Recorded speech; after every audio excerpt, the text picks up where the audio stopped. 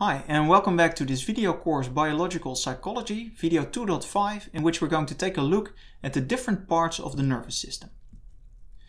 Now, uh, the main division that we can make is between the peripheral nervous system that connects uh, the, the brain and the spinal cord to our body, so that's what you see here uh, depicted in this picture, uh, and the central nervous system, which consists of our brain and our spinal cord let's zoom in on the brain, right? Most, most psychologists and most of biological psychology has to do primarily, but certainly not only, but primarily with the brain, what goes on in our heads, and to a lesser extent, what goes on to in our bodies, right? That's actually a debatable statement that I'm making right here, but I think for the purpose of this course, we can say it's best to zoom in on the brain.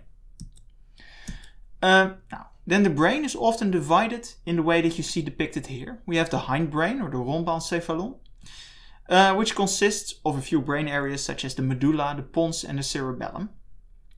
And we have the midbrain or the mesencephalon, which is the tectum, the superior colliculus, etc. And the forebrain, uh, the prosencephalon, which consists of the thalamus, various subcortical structures, and the cortex or the cerebrum.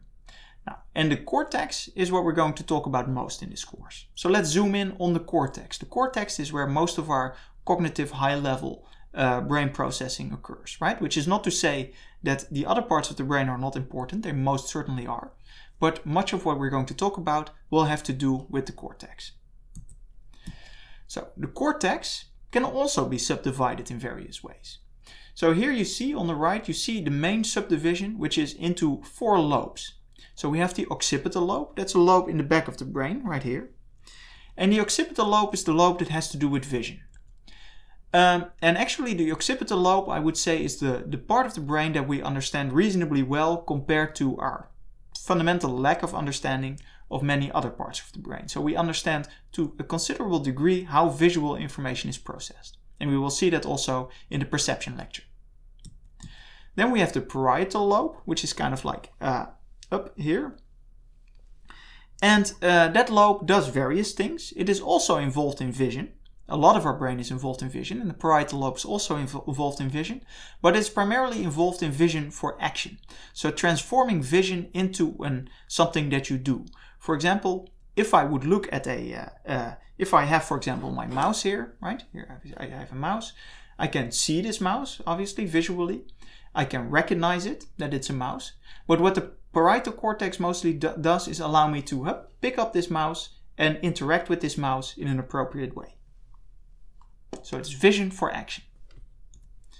It is involved in, in touch and in general in spatial processing. So the parietal cortex is very important in all kinds of uh, spatial, spatial cognitive processes. And obviously vision for action to a very large extent is a spatial process because picking up and interacting with things is something that you do in space.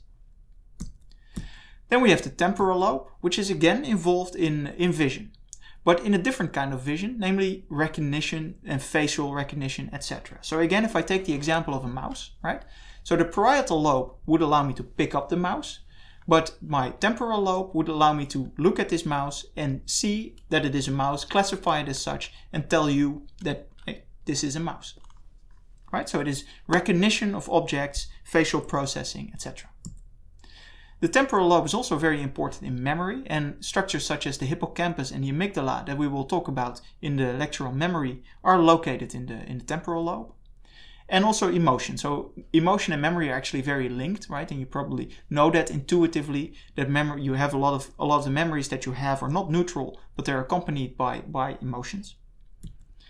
And the temporal lobe is also involved in hearing. Now here you see, I guess, that the temporal lobe is, is a part of the brain that has one name, but it doesn't mean that it only does one thing. Right? There, it is actually a very heterogeneous structure that contains brain areas that do a wide variety of things. Right? That is actually true to all for all uh, for all lobes of the brain. Maybe perhaps with exception of the of the occipital lobe, which is really quite dedicated to vision. And then finally, we have the lobe of all lobes, the frontal lobe, which is involved, among other things, in motor control, and that's something that we understand reasonably well. There is a motor cortex in the in the in the frontal lobe that allows us to uh, uh, basically execute motor commands.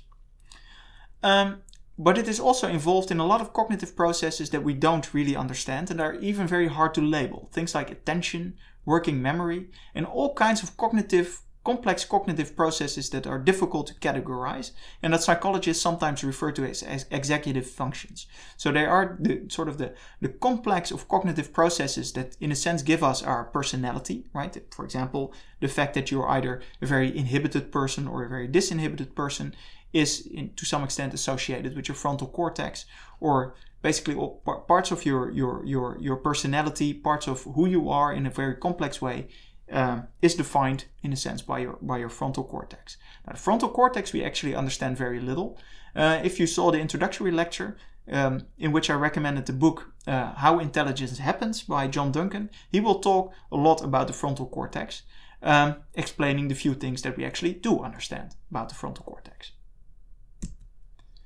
Now, with that, thank you very much for watching uh, this final video in the section on neurons and brain anatomy that is part of the course uh, Biological Psychology.